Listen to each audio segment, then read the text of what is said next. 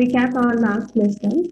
Uh, we are covering the nervous system or the neuronal system of the human body or we can say कि हम लोग animal physiology का nervous system पढ़ रहे हैं the commanding system of our body. तो last lesson के अंदर हमने क्या क्या कवर किया we differentiate in between the nerve fibre and the neuronal cell that how the nerve fibre is differentiated from the neuronal cell कि nerve fibre एक collective term है ब्रॉड टर्म है, जिसमें हमारी बहुत सारी चीज़ें आती हैं। तो जब हम एक नर्व फाइबर की बात करते हैं तो उसमें कनेक्टिव टिश्यू भी होता है। उसके साथ साथ उसके अंदर वेन्स आर्टरी और उसमें एक्सोनल सेल्स भी आती है। ठीक है? This is what we discuss in our last lesson अच्छा तो अभी हम शुरू करते हैं हमारा स्ट्रक्चर ऑफ़ न्यूरोनल सेल और द नर्व सेल ठीक है?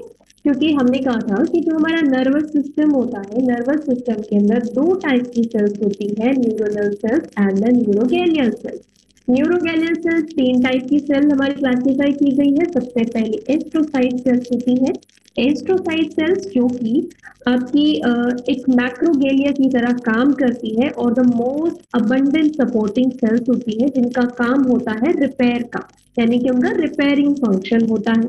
सेकेंड टाइप की न्यूरोगेनियल सेल जिसके बारे में हमने डिस्कस किया था दैट आर दी ओलिकोडेंड्रोसाइट ओलिकोडेंड्रोसाइट जिनका काम है maintain the myelin sheath third type की जो हमारी सेल्स थी, जो न्यूरोगेनियल सेल्स है, जिनके बारे में हमने डिस्कस किया था, वो थी माइक्रोगेलियल सेल्स माइक्रोगेनियल सेल्स जो कि बहुत ही कम होती है नंबर के अंदर और स्पेशलाइज होती है, इनका फ़ंक्शन होता है act as a macrophage cells macrophage cells basically वो सेल्स होती है जो टिश्यू स्पेसिफिक होती है, यानी कि हर एक टिश्यू के पास अपनी मैक्रोफाज सेल्स होती है, जिनका बेसिकली काम होता है कि घर के अंदर जितना भी कचरा है उसको साफ़ कर दो। यानी कि कि उस टिश्यू के अंदर जितना भी कचरा है, जितने भी डेड पोर्शन है डेड सेल्स है डेड फ्रेगमेंट्स है, उनको रिमूव करना। तो नर्वस सिस्टम की जो स्क्वेंजर सेल्स है या मैक्रोफाज सेल्स है दैट आर न्यूरो गैलियल सेल्स और स्पेसिफिकली माइक्रोगैलियल सेल्स अच्छा एक चीज़ और यहाँ से जब हम नर्वस सिस्टम की बात कर ही रहे हैं तो हमने ये पहले भी शायद डिस्कस किया था कि जो हमारा नर्वस सिस्टम होता है it is ectodermal in its origin ectodermal का मतलब समझते हो? एक्टोडर्मल का मतलब हम जो ह्यूमन बींग्स हैं, हम लोग मैमल्स हैं and we are triploblastic organism triploblastic organism what you mean by this triploblastic organism इसका सिंपल सा मतलब है। अब सभी को पता है कि हम लोग डिप्लॉयड ऑर्गेनिज्म है, यानी कि हमारे पास टू एन है डिप्लॉयड बॉडी है हम लोग जिस सिंपल जायगोट बॉडी से हमारी पूरी बॉडी डिफ्रेंशिएट हुई है, ठीक है? ट्रिप्लोब्लास्टिक का मतलब क्या होता है कि जो फर्टिलाइजेशन के बाद जायगोट बनता है तो जायगोट के अंदर ट्रिपल लेयर बनती है, ठीक है? गैस्ट्रुलेशन के टाइम पे गैस्ट्रुलेशन के टाइम पे जर्म्स लेयर बनती है और ये तीन जर्म्स लेयर बनती है। जब हम मैमल्स की बात करते हैं स्पेसिफिकली ह्यूमन बींग की बात करें तो तो यहाँ पे वो तीन लम तीन लेयर कौन सी होती है? एक्टोडर्म एंडोडर्म और मीजोडर्म और इन्हीं स्पेसिफिक लेयर से हमारे अलग अलग बॉडी पार्ट डिफ्रेंशिएट होते हैं। तो जब नर्वस सिस्टम की बात आती है तो nervous system is differentiated from your ectodermal region यानी कि आप ऐसे सपोज़ कर सकते हो, ये हमारा जायगोट है। इस जायगोट के अंदर जो अपर लेयर होती है इट इज़ एक्टोडर्मल इसका जो मिडवे लेयर प्रेजेंट होता है इट इज़ मीजोडर्मल सबसे नीचे जो लेयर प्रेजेंट होती है इट इज़ एंडोडर्मल तो जो ये अपर लेयर है, इस अपर लेयर से आपका नर्वस सिस्टम ऑरिजिनेट होता है, जिसमें सबसे पहले हमारे पास एक होलोकोड लाइक बॉडी फॉर्म होती है, जिसे हम न्यूरल बॉडी भी कहते हैं। इस न्यूरल बॉडी के अंदर आपका चेंजेस आते हैं, ये डिफ्रेंशिएट होती है और इन द लास्ट ये आपके नर्वस सिस्टम में कन्वर्ट हो जाती है। ये चीज़ मैं इसलिए बता रही हूँ क्योंकि ये चीज़ एक तो पहले आपको याद रखनी चाहिए कि जो आपका नर्वस सिस्टम है, वो कौन सी लेयर से, कौन से जर्म लेयर से ऑरिजिनेट हुआ है। दूसरी चीज़, अभी मैंने बात करी न्यूरो गैलियल सेल की, जिसमें स्पेसिफिकली हम लोग बात करी माइक्रोगैलिया या कहें हमारी macrophage cells of the nervous system आपका पूरा का पूरा नर्वस सिस्टम एक्टोडर्मल होता है, यानी कि एक्टोडर्मल लेयर से पूरा नर्वस सिस्टम बनेगा। स्पेसिफिकली अगर माइक्रोगिलिया की बात करें तो it is not ectodermal in its origin या आपका मीजोडर्मल इन ओरिजिन होता है। यानी कि exception is always there exception हर जगह होते हैं। तो आपके नर्वस सिस्टम के अंदर भी एक्सेप्शन है, और एक्सेप्शन क्या है? कि पूरा का पूरा नर्वस सिस्टम एक्टोडर्म लेयर से ऑरिजिनेट हुआ है एक्सेप्ट द सिंगल सेल जो आपकी माइक्रोगेनियल सेल्स होती है, जो मैक्रोफास्ट सेल्स होते हैं नर्वस सिस्टम की these are mesodermal in its यहाँ ज़्यादा क्लियर हो गया? अब हम शुरू करते हैं हमारी बेसिक स्ट्रक्चर यूनिट की जो स्ट्रक्चर है, उसको समझते हैं ताकि हम ये समझ पाए कि क्या है इसके पास जिससे ये नर्व इम्पल्स को ट्रांसमिट कर रही है और इतना फास्ट हमारा, इतना रैपिड वे में हमारा नर्वस सिस्टम काम कर रहा है, ठीक है? इसीलिए अगर पूरे सिस्टम को समझना है तो उसकी बेसिक यूनिट से शुरू करते चले जाइए, आपको पूरा सिस्टम उसकी फंक्शनिंग समझ में आ जाएगी। तो हमारी बेसिक यूनिट क्या है? न्यूरोनल सेल्स है। तो हम न्यूरॉन्स के स्ट्रक्चर के बारे में समझ लेते हैं कि न्यूरॉन्स किस तरीके से उनका स्ट्रक्चर कंपोजिशन है ठीक है? तो वेरी लॉन्ग स्ट्रक्चर इनका स्ट्रक्चर आप देखोगे तो बहुत इलोंगेटेड होता है। जैसे आपको इमेज में दिख रहा है ना, इतना छोटू साइज़ का स्ट्रक्चर नहीं होता, इनका बहुत इलोंगेटेड सा स्ट्रक्चर होता है। इतना इलोंगेटेड होता है कि उसका हेड रीजन उसका सोमा बॉडी आपको किसी और ऑर्गन में देखने को मिलेगा और उसका डेंड्रॉइड सॉरी उसका जो टर्मिनल रीजन है, यानी कि साइनेप्टिक रीजन है, वो आपको किसी और बॉडी पार्ट में देखने को मिलेगा। सपोज़ कीजिए, जैसे हम लोग कहते हैं कि हमारा जो नर्वस सिस्टम है, वो इन्वायरमेंट के साथ कैसे कांटेक्ट करता है सेंसेस के थ्रू करता है। हमारे सेंस ऑर्गन को यूज़ करके वो इन्वायरमेंट के साथ कनेक्टेड होता है बिकॉज़ नर्वस सिस्टम डायरेक्टली तो कांटेक्ट करता नहीं है। सिग्नल जो है वो डायरेक्टली तो नर्वस सिस्टम में जाते ही है। सबसे पहले हमारे सेंसेस आते हैं सेंसेस सिग्नल रिसीव करते हैं। तो ये जो सेंसेस है, इन सेंसेस के पास हमारे न्यूरोन सेल्स हमारे न्यूरोनल सेल्स प्रेजेंट होते हैं। तो ये न्यूरोनल सेल का जो रीजन सेल्स को लेने वाला है सिग्नल को लेने वाला है डेंड्रॉइड्स वगैरह है ना, ये तो कहाँ प्रेजेंट होंगे? जहाँ पे हमारे सेल्स ऑर्गन प्रेजेंट होगी, जैसे आपकी स्किन हो गई। स्किन की जो लेयर है स्किन के लेयर के जस्ट नीचे आपकी न्यूरोनल लेयर प्रेजेंट होती है, जो क्या करती है कि जैसे स्किन के ऊपर कोई सिग्नल आया, आपने टच किया, आपके न्यूरोनल सेल ने वहाँ से सेंस किया और तुरंत उसको इलेक्ट्रिकल इम्पल्स के थ्रू ट्रांसमिट कर दिया। इन शॉर्ट में इसलिए समझा रही हूँ कि यहाँ से आप ये चीज़ क्लियर कर लो कि हमारे जो न्यूरल सेल्स होती हैं, बहुत ज़्यादा इलोंगेटेड स्ट्रक्चर होती हैं कि जैसे हमारी स्किन हो गई तो हमारे डेंड्रॉइड रीजन जो डेंड्रॉइड पार्ट होगा, वो हमारी स्किन के पास प्रेजेंट होगा। इसका एक्सोनल बॉडी इतना इलोंगेटेड होगा कि वो इलोंगेट होके आपका इसका जो साइनेप्टिक टर्मिनल रीजन है, वो कहीं और प्रेजेंट होगा, ठीक है? तो इन शॉर्ट हमारे जो न्यूरल बॉडीज होते हैं, वो बहुत ही लॉन्ग स्ट्रक्चर होती है। समटाइम उनका लेंथ 19 टू 100 सेंटीमीटर तक होता है, ठीक है? A neuron has a three part अच्छा हम उसके बॉडी को ना तीन पार्ट में क्लासिफाई कर सकते हैं और उस किस बेस पे क्लासिफाई करेंगे, हम यहाँ से देखेंगे। तो सबसे पहले एक तो हो गई सेल बॉडी सेल बॉडी किसे कहते हैं? बेसिकली सेल बॉडी आप उसे कहते हो जहाँ पे न्यूक्लियस होता है। तो उस सेल का न्यूक्लियस जहाँ पे सिचुएटेड है, उसे हमने सोमा कह दिया, उसे हमने सेल बॉडी कह दिया। दूसरा जो पार्ट होता है वो होता है डेंड्रॉइड डेंड्रॉइड का बेसिकली काम क्या है? कल ही हमने देखो, मैंने आपको बताया था कि जो डेंड्रॉइड्स होते हैं बेसिकली उनका काम होता है कि वो एक ब्रांचेस की तरह ट्री के ब्रांचेस ब्रांचेस की तरह हर डायरेक्शन में से फैले हुए होते हैं ताकि मैक्सिमम जो है सरफेस एरिया इंक्रीज हो सके और ज़्यादा से ज़्यादा वो स्ट्यूमुलाई को रिसीव कर सके, है ना? तो दूसरा हमारा पार्ट हो गया डेंड्रॉइड और उसके बाद लास्ट हमारा पार्ट है एक्सॉन अच्छा इसके बाद एक और पार्ट हम कर सकते हैं, क्योंकि सेल बॉडी और डेंड्रॉइड आपका कलेक्टिवली एक ही पार्ट में इंक्लूड होता है तो इसके बाद एक्सॉन और थर्ड हमारा पार्ट हो जाता है हमारा साइनेप्टिक रीजन ठीक है? जिसे हम साइनेप्टिक लैक्ट भी बोल सकते हैं, जिसे not synaptic cleft actually synapsis बोलेंगे। Because synaptic cleft is different thing and synapsis is different thing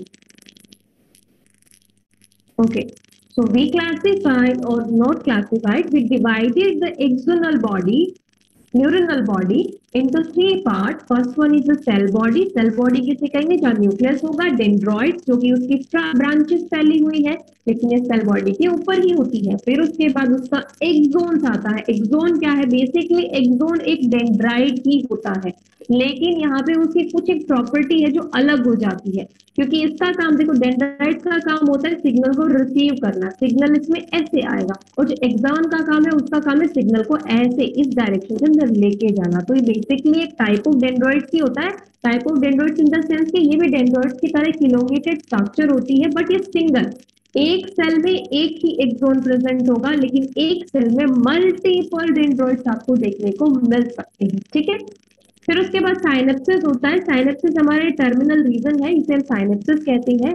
ऐसे होता ही एक्सॉन टर्मिनल है, जब हम एक सिंगल सेल की बात करें, लेकिन जब हम सिग्नल ट्रांसमिशन देखेंगे, कैसे वन न्यूरोनल सेल दूसरे न्यूरोनल सेल को सिग्नल ट्रांसमिट कर रही है, उस टाइम पे हम समझेंगे कि एक्चुअल में साइनेप्सिस रीजन क्या है, ठीक है?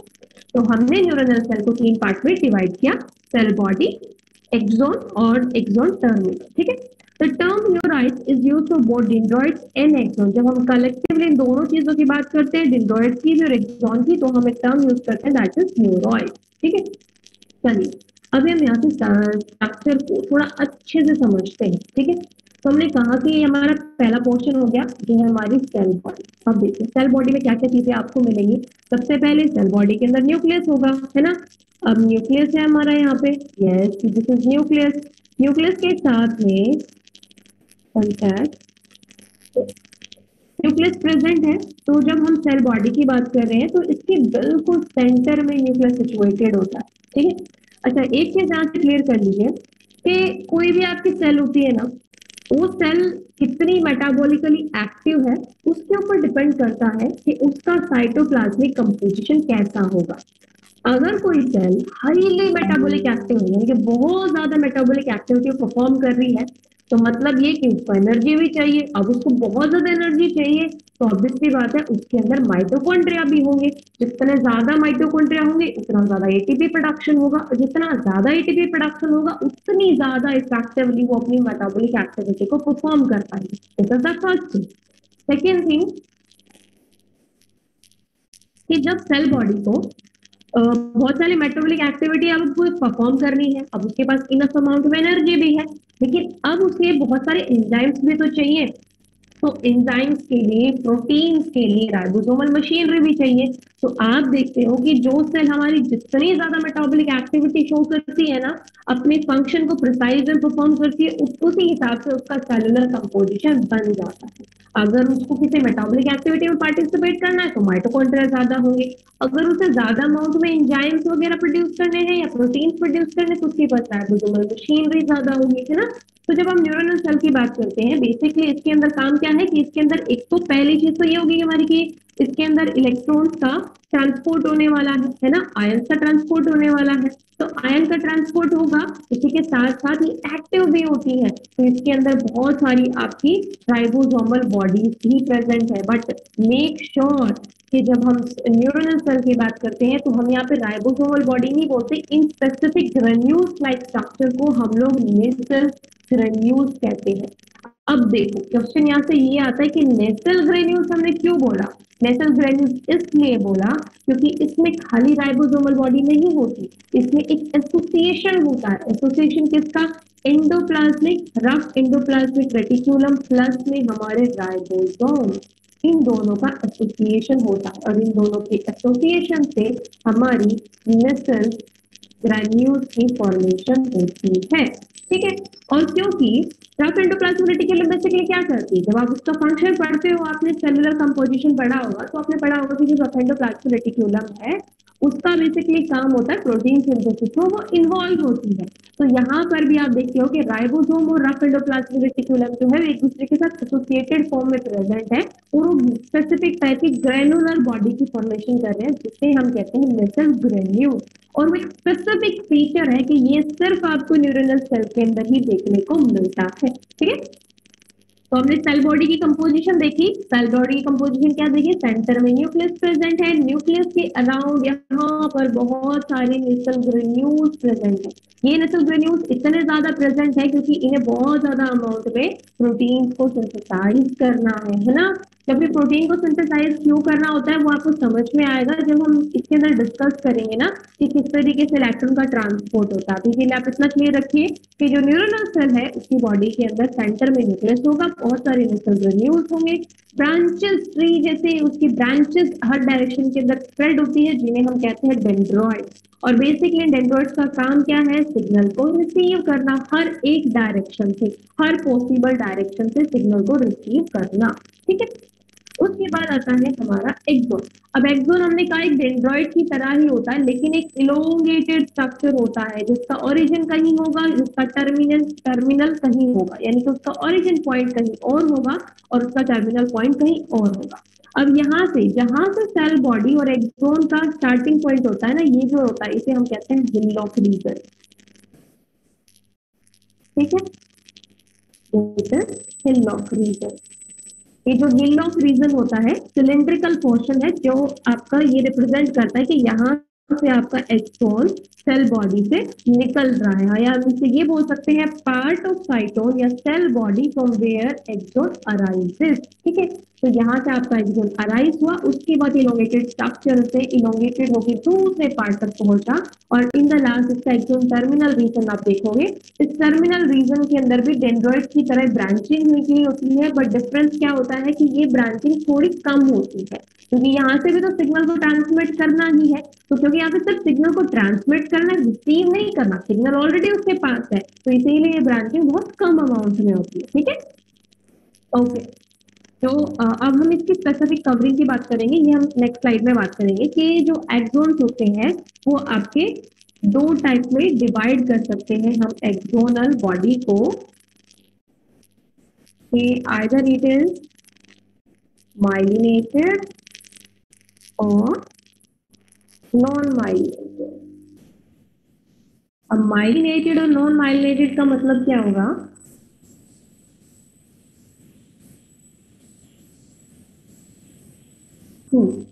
माइलिनेटेड मतलब क्या होता है? देखो, एक स्पेसिफिक टाइप की सेल्स होती हैं, जिसे हम कहते हैं स्क्वान सेल्स ठीक है?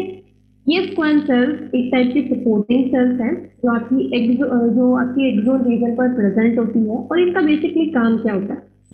अभी तक हमने ये पढ़ा कि हमारे न्यूरोनल सेल सिग्नल को रिसीव करते हैं और इलेक्ट्रिकल इम्पल्स इसके अंदर जनरेट होती है और वो एक एंड से दूसरे एंड पर ट्रांसमिट होती है। और ये हमारा एक सीक्वेंस बनता चला जाता है कि एक एक्सोन ने दूसरे एक्सोन को या है एक न्यूरोनल सेल ने दूसरे न्यूरोनल सेल को सिग्नल ट्रांसमिट किया नेक्स्ट ने उसने नेक्स्ट को ट्रांसमिट किया, फिर उसके बाद ऐसे ही करके हमारा सिग्नल हमारी कमांडिंग रीजन यानी कि ब्रेन तक पहुँचता है और ब्रेन हमारा फिर मोटर न्यूरॉन की फॉर्म में रेस्पॉन्स को पहुंचाता है फैक्टर ऑर्गन ये हमने पढ़ा, ठीक है? बेसिक से चीज़ें जो बार बार हम रिपीट करते रहेंगे ताकि हमें समझ में आ जाए एक्चुअल में सारी चीज़ें काम कैसे करनी है। तो जब क्वेंसल्स होती है ना, एक टाइप की सपोर्टिंग सेल्स होती है, अब आपके पास, आप सपोज़ करो, आपके पास कोई इलेक्ट्रिक वायर है इलेक्ट्रिक वायर के ऊपर कोई भी कोटिंग नहीं हो रखी। कोटिंग समझ समझते हैं प्लास्टिक की कोटिंग होती है वायर देखते हो प्लास्टिक की कोटिंग हो रही होती है उसके ऊपर। और वो कोटिंग किसका काम करती है? वो एक इंसुलेशन का काम करती है।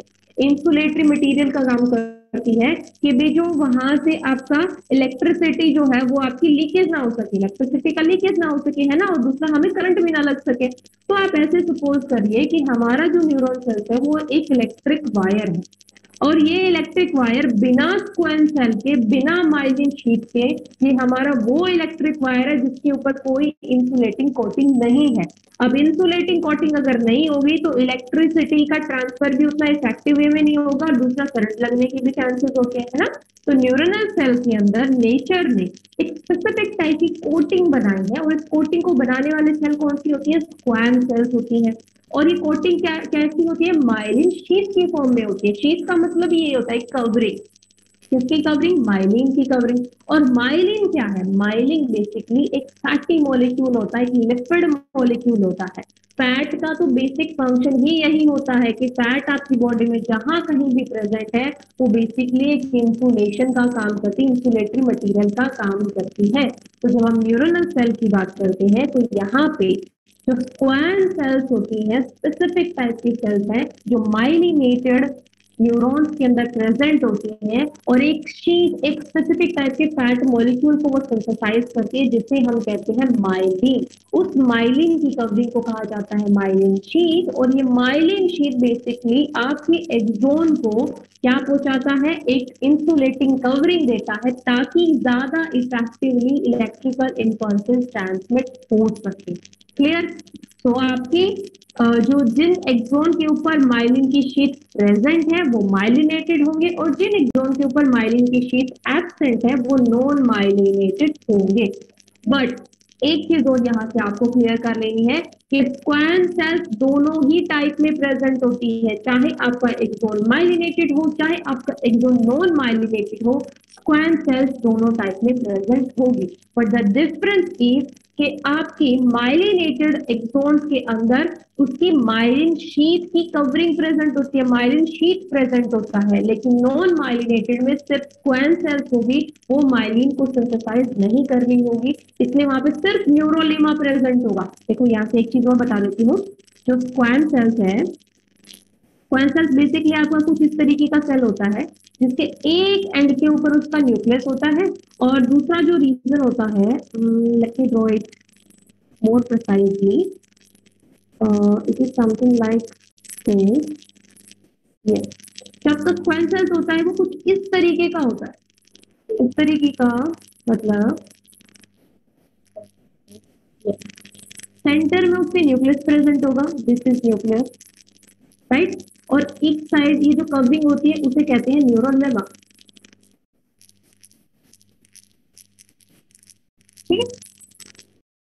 सेल की जो कवरिंग होती है, उसे हम कहते हैं न्यूरल बेसिकली क्या होता है कि जो स्कैन स्क्वान सेल्स होती है उसका ये जो पोर्शन होता है, ये जो पोर्शन होता है, ये जो सिंपली इसके अंदर सिर्फ़ मेम्ब्रेन मेम्ब्रेन प्रेजेंट है कोई साइटोप्लाज्म प्रेजेंट नहीं होता, उसके एक एंड के ऊपर साइटोप्लाज्म होता है तो जो सारा का सारा साइटोप्लाज्म है, वो यहाँ पे एक टर्मिनल एंड के ऊपर डिपोजिट है। दूसरे एंड के ऊपर कोई साइटोप्लाज्म नहीं है, सिर्फ़ मेम्ब्रेन प्रेजेंट है। तो क्या होता है कि ये जो मेम्ब्रेनियस रीजन होता है ना, इसके अंदर हमारा पिगमेंट प्रेजेंट होता है, जिसे हम कहते हैं माइलिन और यही जो कवरिंग है, यही जो मेम्ब्रेनियस रीजन है जिसके अंदर माइलिन पिगमेंट प्रेजेंट है, ये इसके अराउंड एक्सोन के अराउंड ऐसे रैप हो जाता है, ऐसे रैप हो जाता है और ये रैप होके क्या बनाता है? माइलिन शीट को बनाता है, ठीक है? तो जिस भी एक्सोनल सेल के अंदर स्क्वान सेल प्रेजेंट है, वो स्क्वान सेल्स वहाँ पे अगर माइलिन माइलिन पिगमेंट को सिंथेसाइज कर रही है तो तो फिर क्या होगा? तो तो फिर वहाँ पे ये होगा कि आपकी जो एक्सोन होगा वो माइलिनेटेड होगा। और अगर वहाँ पे स्क्वान सेल्स किसी तरीके से भी माइलिन का फॉर्मेशन नहीं कर रही है तो वो आपका नॉन माइलिनेटेड एक्सोन होगा। क्लियर ओके तो यहाँ से हमारा क्या पॉइंट क्लियर हुआ? कि हमारा जो एक्सोन होता है, वो दो टाइप की कवरिंग शो करता है। एक होती है माइलिनेटेड दूसरा है myel non myelinated non myelinated हम कब कहेंगे? जब हमारे एक्सोन बॉडी के अंदर क्वेंसल्स तो होगी। लेकिन माइलिन शीट वहाँ पे नहीं होगा ठीक है? So it is a broad rounded piriform satellite part अगर हम सेल बॉडी की बात करें तो अभी हम थोड़ा सा थ्योरी फॉर्म में देख लेते हैं कि हमारा जो न्यूरोनल सेल है, वो किस तरीके का स्ट्रक्चर होता है। वन बाय वन इसके हर एक पार्ट के बारे में आपको ब्रीफली मैं समझाती चली जाऊँगी। So it is a broad rounded piriform और satellite part satellite part satellite का समझ मतलब समझते हो बेसिकली सैटेलाइट जैसे आपकी सैटेलाइट प्रेजेंट होते हैं। इनका काम ही क्या? होता है सिग्नल को रिसीव करना। तो ये सैटेलाइट पार्ट होता है न्यूरोन का। ठीक है that contain central nucleus nucleus उसके सेंटर में प्रेजेंट होगा। Abundant cytoplasm as I said abundant cytoplasm क्यों होगा? देखो, मैं थोड़ी पोर्शन कराने से पहले आपको उसका बेसिक समझा दूँगी, ताकि थोड़ी समझने में आपको दिक्कत ना हो। हाँ यहाँ पे थोड़ी भी हम लेके चलेंगे और वैसे भी आपको समझाती चली जाऊँगी, ताकि दोनों ही पॉइंट आपके क्लियर हो सके आप नोट्स भी इफेक्टिवली बना सको। तो अबंडेंट साइटोप्लाज्म होगा। अबंडेंट साइटोप्लाज्म हमने कहा कि जितनी ज़्यादा हाईली मेटाबॉलिक आपकी सेल होगी उतना ज़्यादा उसमें साइटोप्लाज्म प्रेजेंट होगा और आपकी साइटोप्लाज्मिक ऑर्गन भी, भी प्रेजेंट होंगे। मेरे सेल ऑर्गन में जैसे कि आपका इसमें बहुत ज़्यादा अमाउंट में माइटोकॉन्ड्रिया बहुत ज़्यादा अमाउंट में निकल ग्रेन्यूल्स देखने को मिलते हैं, लेकिन इसमें सेंट्रियोल प्रेजेंट नहीं होगा। And this is the one of the region कि आज की जो न्यूरोनल सेल्स होती है, उनके पास लेस रीजनरेशन पावर होती है।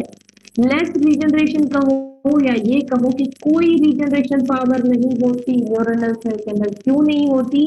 कि उनके अंदर सेंट्रियोल्स नहीं होता। और सेंट्रियोल्स बहुत इंपॉर्टेंट होते हैं सेल के लिए सेल डिवीज़न को परफॉर्म करने के लिए। जिन सेल के पास सेंट्रियोल नहीं होता वो डिवाइड नहीं कर सकती।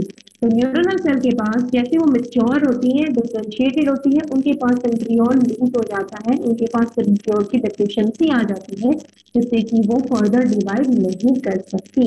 इसीलिए हम कहते हैं जो आपकी न्यूरोनल सेल है उनकी रिजनरेशन पावर बिल्कुल ज़ीरो होती है। Because of the absence of centriole, neuron cannot divide. Nucleus is large and the prominent nucleolus, as I said, कि इसमें prominent nucleolus क्यों होगा देखो nucleolus का basically काम होता है कि ये आपके ribosomal body yes ribosomal body के सिंथेसिस में इन्वॉल्व होता है जितना ज़्यादा न्यूक्लियस न्यूक्लियोलस होगा उतनी ज़्यादा राइबोसोमल बॉडी सिंथेसाइज होंगी। और जैसे हमने कहा कि न्यूरोनल सेल के अंदर बहुत सारे नेसल ग्रेन्यूल्स प्रेजेंट होते हैं। और नेसल ग्रेन्यूल्स में बेसिकली क्या है? एंडोप्लाज्मिक रेटिकुलम है और साथ ही साथ में राइबोसोमल बॉडी है। और प्रोमिनेंट न्यूक्लियस होगा, तभी तो राइबोसोमल बॉडी बनेगी। और राइबोसोमल बॉडी बनेगी, तभी हमारा नेसल ग्रेन्यूल की फॉर्मेशन हो जाएगी। ठीक है? एक एक चीज़ों को एक दूसरे के साथ कनेक्ट करते चलिए लिंक करते चलिए। Endoplasmic reticulum coil around the ribosome and form granule like, structure जैसे कि हमने डिस्कस किया कि निकल ग्रेन्यूल्स होती है। इन्हें हम ट्रीजॉइड बॉडी भी कहते हैं। It is the center of protein synthesis and it is chemically ribonucleoprotein containing iron. कि इसके पास ट्रीजॉइड बॉडी है। निकल ग्रेन्यूल्स का इसके अंदर कौन सा हमारा राइबोन्यूक्लियोप्रोटीन कंटेनिंग आयरन प्रेजेंट होता है। ठीक है? ये कुछ एक पॉइंट्स है जो आपको याद रखने हैं। Many small fibrils are found in the cytoplasm called neurofibrils which help in internal conduction in the cytosol. yes, यहाँ पे आप ऐसे ड्रॉ कर सकते हैं कि जो साइटोप्लाज्म है उसमें यहाँ पे आपको कुछ ऐसे फाइब्रस लाइक स्ट्रक्चर भी देखने को मिलेगी, जो होती है बेसिकली न्यूरोफाइब्रस न्यूरोफाइब्रस का बेसिकली काम क्या होता है कि डेंड्रॉइड जो है स्टिमुलस को सिग्नल को रिसीव करेंगे और वो सारे सिग्नल्स को डायरेक्ट कर देते हैं सेंट्रल बॉडी की तरफ़ सोमा बॉडी की तरफ़. तो यहाँ पे जो न्यूरो न्यूरोफाइब्रस है, उनके थ्रू कंडक्शन होके जितना भी सिग्नल है, वो आपके एक्सोनल बॉडी की तरफ़ ट्रांसमिट हो जाता है. Clear okay I I think ये स्ट्रक्चर कंप्लीट नहीं हो पाएगा। हम थोड़ा सेल बॉडी को कंप्लीट कर लेते हैं यहाँ पे।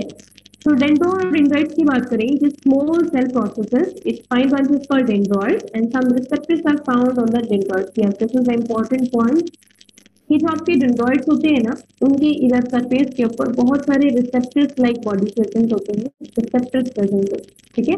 कुछ इस तरीके से रिसेप्टर्स इनके ऊपर प्रेजेंट होते हैं, जिनका काम होता है कि अगर एनवायरमेंट के अंदर किसी भी तरीके का चेंज हो रहा है, चाहे वो केमिकली किसी केमिकल सब्सटेंस की वजह से हो रहा हो तो उसको रिसीव किया जा सके और उसको रिस्पॉन्स किया जा सकती है, ठीक है? ये एक्चुअली जो रिसेप्टर्स होते हैं ना, इन रिसेप्टर्स की कहानी आपको तब समझ में आएगी जब पूरा जो इलेक्ट्रिकल इम्पल्सिस का ट्रांसफ़र है ट्रांसमिशन है, वो आपको समझ में आएगा। तो अभी के लिए आप इतना याद रखिए कि डेंड्रॉइड के सरफेस पर बहुत सारे आपके रिसेप्टर्स प्रेजेंट होते हैं, जो रिसीव करते हैं स्टिमुलाइज को एंड प्रोड्यूस करते हैं सेंट्रीपिटल सेंट्रीपिटल कंडक्शन सेंट्रीपिटल का मतलब होता है सेल बॉडी की तरफ़। जैसे हमने कहा कि जितना भी सिग्नल होता है, वो सारा का सारा सेल बॉडी की तरफ़ डायरेक्ट हो जाता है। And this is known as a centripetal conduction जो न्यूरोफाइब्रल की हेल्प से अगेन आपके एक्सोन बॉडी की तरफ़ ट्रांसमिट हो जाएगा।